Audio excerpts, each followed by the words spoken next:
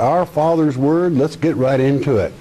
We come to the 14th chapter in the great book of Revelation. I want you to make one note about this chapter and chapter 15. Chapter 14 is written concerning earth. Chapter 15 is written concerning heaven.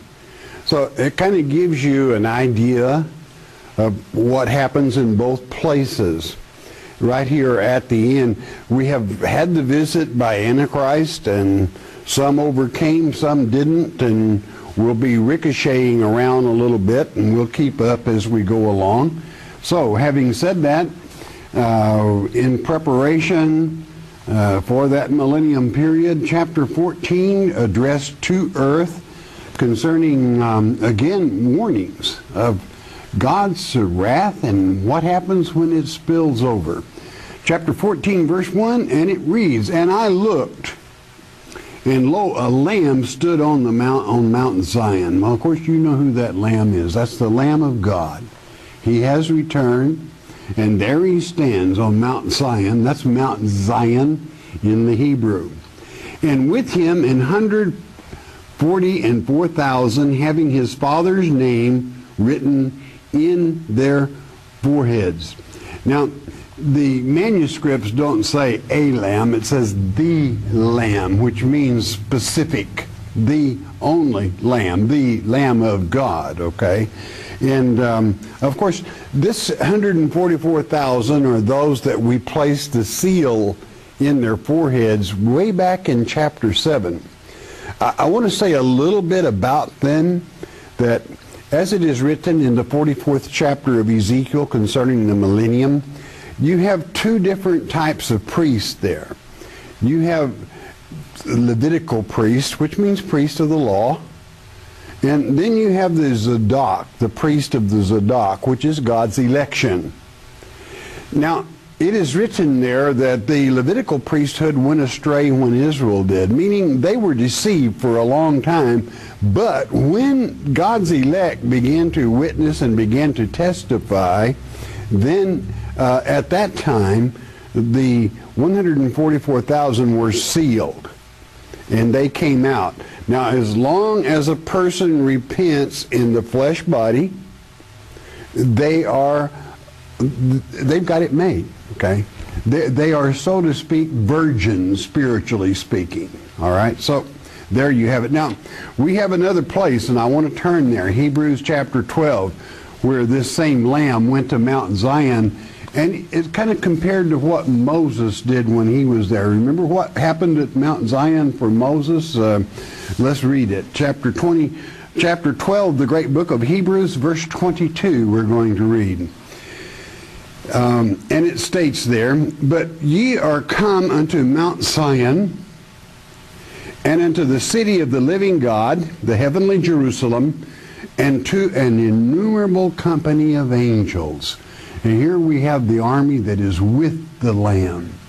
Not the earthly people, but the, even the army that is with the Lamb. 23, to the general assembly and church of the firstborn, which are written in heaven. That's to say, they're in the book of life. They overcame. And to God, the judge of all, the only judge of all, and to the saints of, to the rather the spirits of just men made perfect, made mature. Just means justified, judged and justified. They made it. And of course, naturally, we're talking about God's elect here, these Zadok of Ezekiel 44. Verse 24. And to Jesus, the mediator of the new covenant, and to the blood of sprinkling that speaketh better things than that of Abel. Abel's blood cried out from the ground for vengeance. And Christ's blood cries out for it with salvation. Salvation for you, salvation for whomsoever will call upon his name, that Lamb of God. Verse 25. See that you refuse not him that speaketh, for if they escape not who refused him that spake on earth, much more shall not ye we escape. That's to say, Moses spake on earth, gave the law They refused him. They partied even while he was up on the, uh, the, the mount. Much more shall we not uh, shall not we escape if we turn away from him that speaketh from heaven. The Holy Spirit, if you turn away from that, being one of God's elect, the just, that's unforgivable. Uh, and you've heard me say, I'm sure many times, that's not going to happen. It just is not going to happen. Verse 26 whose voice then shook the earth. This is to say there's a great shaking coming, and you want to be prepared for it mentally and spiritually. But now he hath promised, saying, and, and this is a promise from God, don't ever forget it. Yet once more I shake not the earth only, but also heaven. I mean, there's uh, Satan and his little boys are going to be shake. We're going to shake them right out of heaven, right off onto the earth, and shake the earth as well. Okay, 27. And this word, what word? God's word. This word. Yet once more signifieth the removing of those things that are shaken as of things that are made, that's to say created, that those things which cannot be shaken may remain. Now, that says it all if you'll grasp it. If you are anchored and if your foundation is Christ, you can't be shaken. Okay?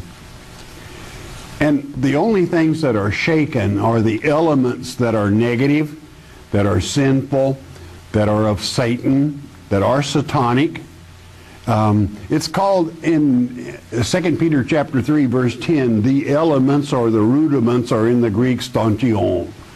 Uh, they're, they're, they're going to be burned up because God is a consuming fire. They're going to be shaken real well. But what about you? That's why I came here. I want you to, I want you to really dig in and know God isn't angry at his elect. And, and that's why I wanted you to know the difference here that those things which cannot be shaken may remain. Remain where? Right here. Not flying away somewhere. Remaining right here on earth where his temple will be established as we will document in chapter 21 of, of the great book of Revelation.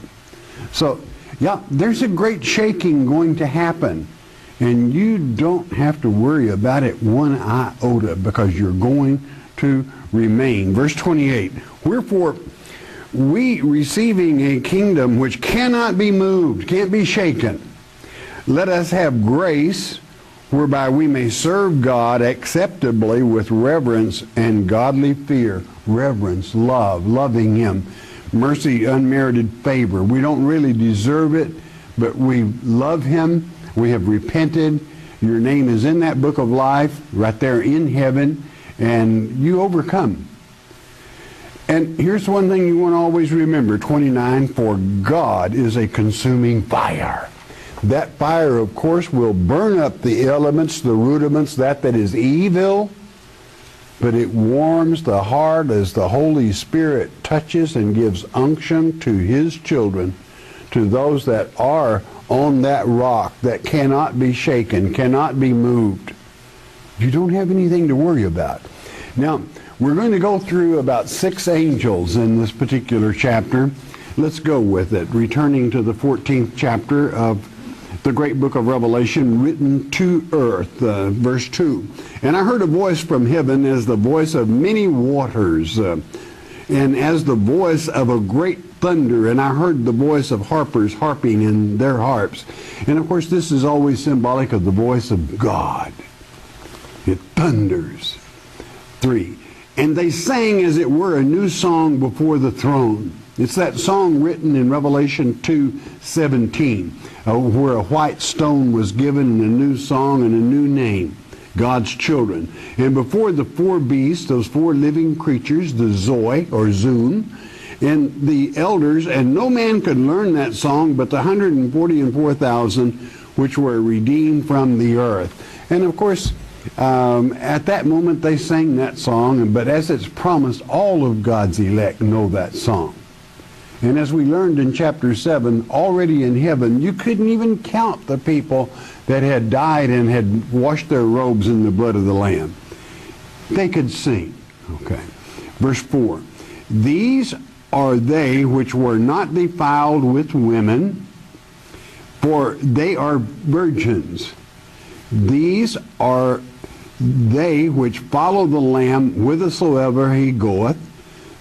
These were redeemed from among men, being the firstfruits unto God and to the Lamb. And I have no doubt in my mind, these are you, some of your friends today that will not listen to you. But when you have told them that you will be delivered up before the Antichrist, when you are de facto delivered up before the Antichrist and the Holy Spirit speaks through you, they're going to say, wow, he or she told me this would happen, and it has, it's true. And as it is written in Luke 21, even the gainsayers will be convinced by what God's elect say at that time, and they're converted. They're redeemed from the masses. This is why it's written in Ezekiel chapter 44 concerning those Levitical priests that when Israel went astray, so did they. But they had the seal of God in their forehead, meaning they knew what was going to happen, and when it did happen, they believed. This is why you don't want to judge any of your friends that you planted seed with that you felt didn't grow. It's embedded.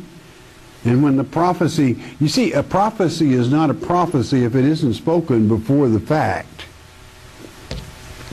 Verse 5. And in their mouth was found no guile. This is dolos in the Greek. It means no lies. They weren't lying. They weren't tricking anybody. It wasn't a decoy. That's what dolos means. For they are without fault before the throne of God. And instead of blowing smoke and fire and brimstone as the evil ones did, they spoke truth. The truth of God's word. Verse 6. And I saw another angel fly in the midst of heaven, having the everlasting gospel to preach unto them that dwell on the earth, and to every nation and kindred and tongue and people. This message will be taught. God's word never changes. It won't change in this age. It won't change in the age to come. And it hasn't changed in ages past. God's word is always the same. And that word is what is preached even for a thousand years through the millennium. For the, the people that have never had an opportunity because of false teaching to learn the real truth, it will be taught at that time. Verse 7, this angel saying with a loud voice, Fear God. That means revere him, love him, and give glory to him, for the hour of his judgment is come, and worship him that made heaven and earth and the sea and the foundations of waters. Now, you're given a date there. You're given a time, and I don't want you to read over it. It's important. Because we're not talking about the judgment seat of Christ, and we're not talking about the first resurrection. We're talking about the great white throne judgment. We're talking about God's judgment here. Well, question, when does it happen? At the end of the millennium. So this lets you know that teaching that continues on, that is preached. The Word of God. Never, never think you're wasting time studying the Word of God because it's always going to be with us. But here we have come to the end of the millennium and the great white throne judgment where that that is evil will be done away with. And, and good riddance. It will be well timed that we would be rid of it. So we see here that um, God's judgment is come. That day is here. Verse 8. And there followed another angel saying, Babylon is fallen. That's confusion, babble, and nonsense. It's out of here. That great city, because she made all nations drink of the wine uh, of the wrath of her fornication. Fornication, in this sense, in the spiritual sense, is teaching other religions, trying to bring other religions before people to get them to follow. It is considered fornication for idolatry replaced with idolatry. Okay? And This is the main thing that Satan tries to do. Why? He wants people to worship him. So he comes up and misleads people into starting all kinds of religions and belief and, and traditions that make void the Word of God because he wishes the preeminence. But he'll never have it. Verse 9. And the third angel followed them. Here we got three. Saying with a loud voice, If any man worship the beast in his image, that's the image of that one world political system, becomes a part of that one world political system headed by Satan, and receive his mark in his forehead, that is to believe upon and worship in their mind that false leadership, or in his hand, that means to help his little old church along, to do, do the work. Verse 10, the same shall drink of the wine of the wrath of God, which is poured out without mixture into the cup of his indignation. That's God's indignation. And he shall be tormented with fire and brimstone in the presence of the holy angels and in the presence of the Lamb. Now, who is it talking about? You know, a lot of people get on guilt trips and they just start shaking in their boots. Oh, I want to be gone. Why? This is talking about those that follow Satan. This is talking about those that participate in his one world system and help build his church. You don't have any, God's indignation is not against you. Quite the contrary, he loves you. So you don't have anything to worry about. However, that third angel brings a message for those that are on the earth. If you should follow that one world system headed by Antichrist, if you do help it along, if you wish it Godspeed, then you're in a heap of hurt, friend, because that is who God is angry at. His indignation there, there is nothing like God's indignation. What did we read in the last verse of Hebrews chapter 12? God is a consuming fire. Not a little fire when he his indignation up that singes, but consumes, blots out, does away with. Uh, verse 11. And the smoke of their torment ascended up forever and ever. And they have no rest day or night who worship the beast and his image and whosoever receiveth the mark of his name, those that participate. That means that at the end of the millennium, and we were given that date by God's judgment, okay, at the end of the millennium, their smoke goes up forever and ever. Why? Well, many might say, well, that means they're going to be alive. No, what did it say? It said um, that uh, God is a consuming fire. When they're consumed, they don't live forever and ever. Their smoke goes up forever and ever.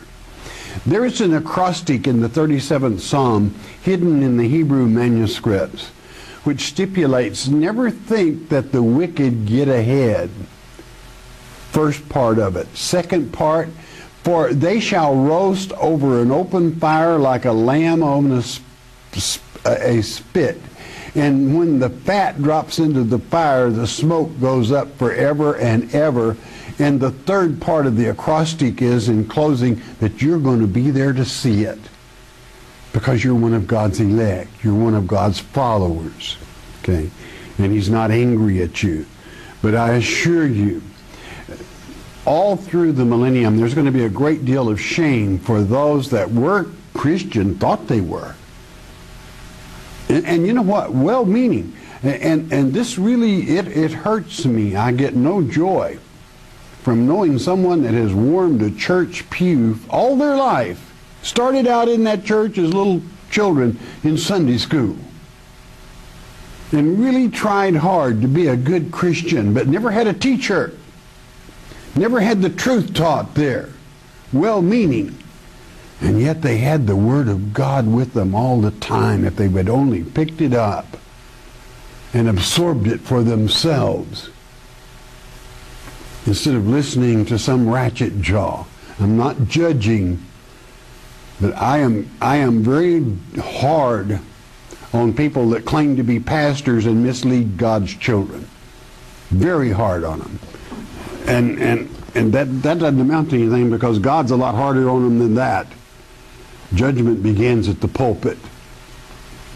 Verse 12. Here is the patience of the saints. This is the set aside ones, God's elect. Here are they that keep the commandments of God and the faith of Jesus. These are the ones we're talking about. They don't have anything to worry about. But why? They keep the commandments of God. They don't follow the one world system headed by Satan or join his church. 13. And I heard a voice from heaven saying unto me, Write, blessed are the dead which die in the Lord from henceforth. Yea, saith the Spirit, that they may rest from their labors and their works do follow them. That's a very important verse. What can you take to heaven with you? It's answered right there. Your works.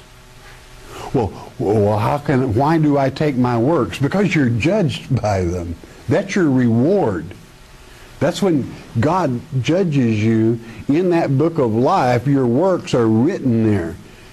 I don't know. Uh, you know, you would be in pretty bad shape if it said by your name that you worship the mark of the beast, that you worship the the Antichrist and his system.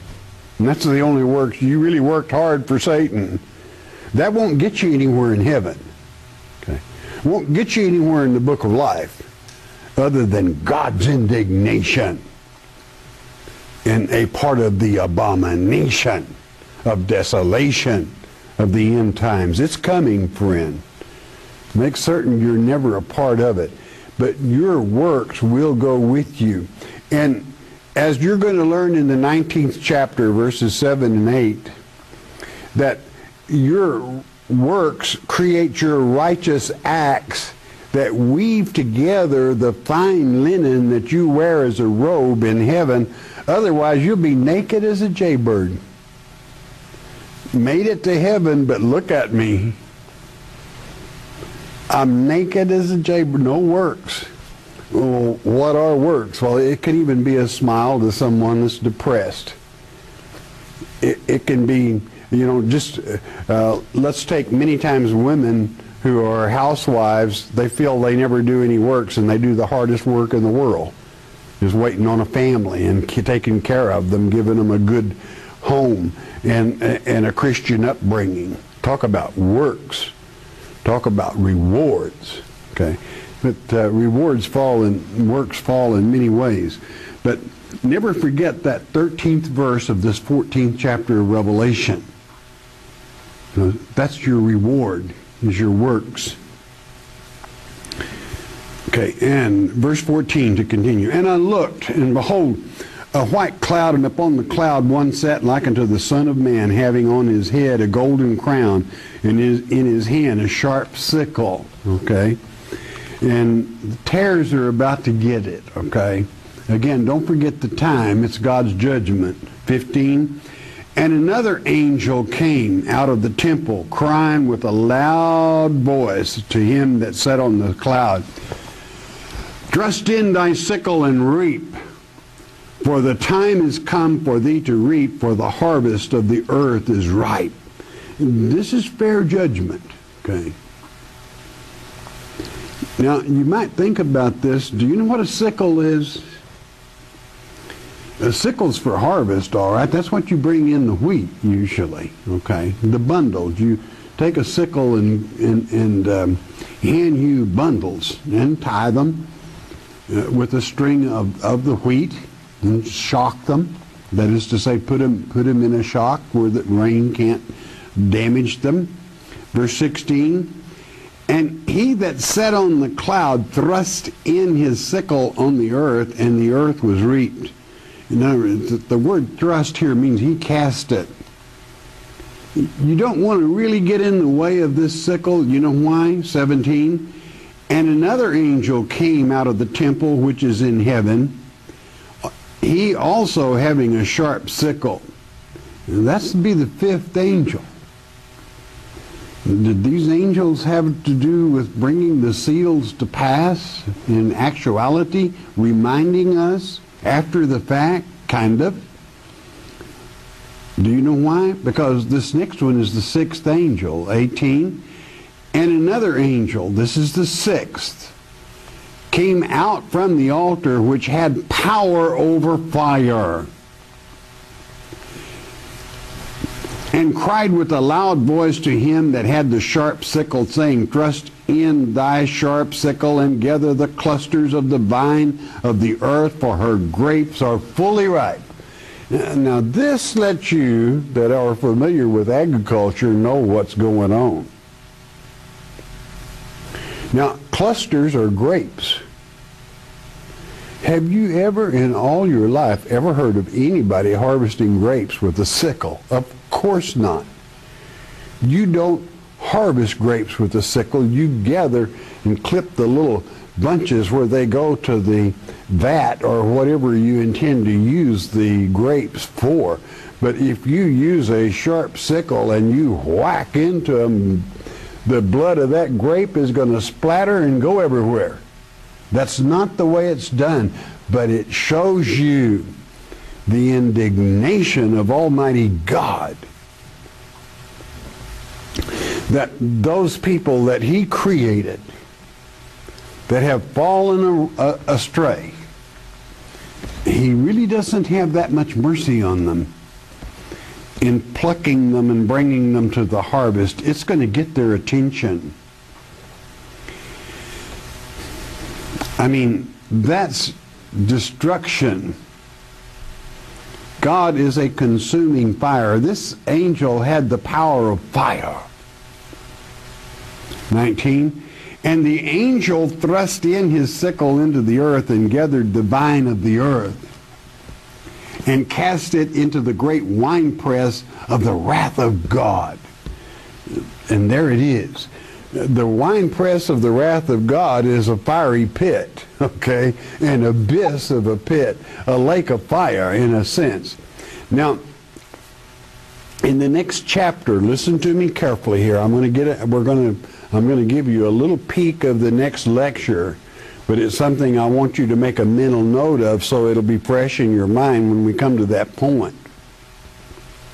And this will make a lot more sense to you in the next verse, chapter rather, that is written to heaven, you're going to be introduced to the Song of Moses.